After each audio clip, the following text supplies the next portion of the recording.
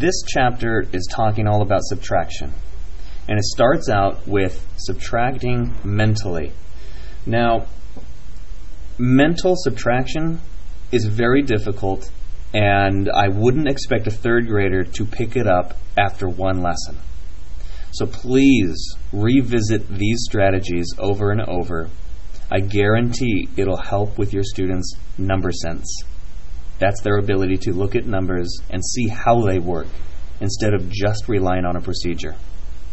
So this this is a very uh, one of the most simple ways to subtract mentally, and it's counting up.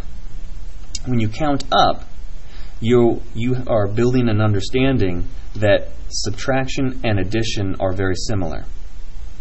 When you subtract 15 minus 15, that's really easy to figure out that the answer is zero. Because if you have $15 and you spend $15, you have $0 left. If you were teaching the standard algorithm, 5 minus 5 is 0, 1 minus 1 is 0. So this one isn't too difficult to understand as far as subtraction is concerned. And even if you were to add 15 plus 0, you would get if you added the 0 to this 15, you would get this number.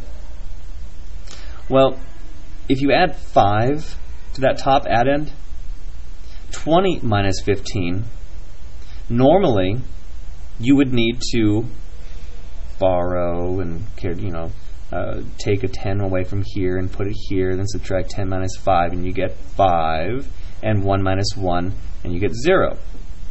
But, th- and this is the point here, that process is important to build the standard algorithm skill, but we should also be developing a mental ability to see numbers and know that 15 is 5 less than 20.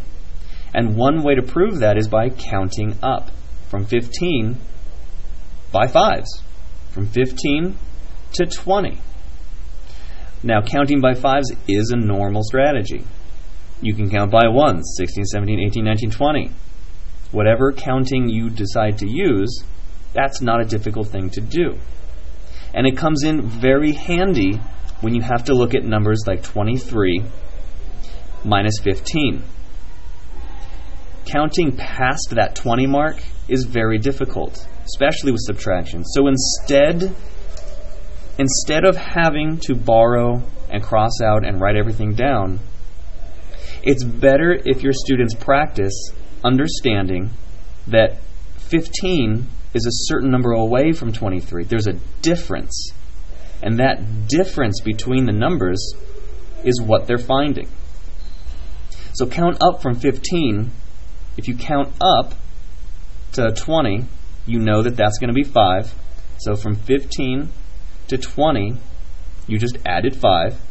And from 20 21, 22, 23 is three more. I wouldn't ever expect a student to write all this out. This is done in your mind. Okay?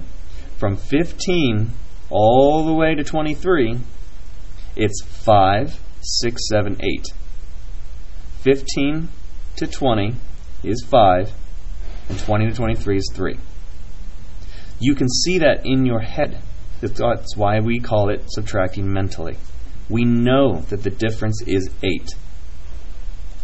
Now, when you get into numbers such as 33 minus 25, this is what we're used to teaching, and this is what we're used to learning.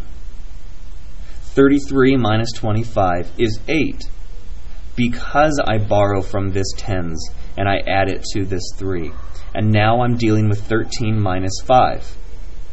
But even that is easy enough to count from 5 up to 10, 11, 12, 13. Counting up from 25 is as easy as counting up to 30 plus 5. And then 31, 32, 33 plus 1 plus 1 plus 1. So Counting up is the first strategy for subtracting mentally.